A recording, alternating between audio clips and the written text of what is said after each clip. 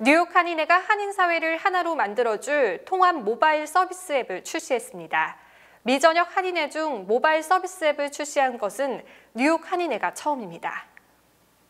뉴욕 한인회는 지난 10일 뉴욕 한인회관에서 기자회견을 열고 서강대학교 산학 공동사업화 투자법인 더범 S가 개발한 뉴욕 한인회 모바일 서비스 앱 캐그니를 출시한다고 밝혔습니다.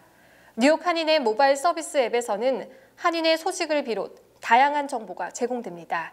또한 한인들의 궁금한 사항을 바로바로 해결할 수 있도록 묻고 답하기 서비스도 함께 운영됩니다.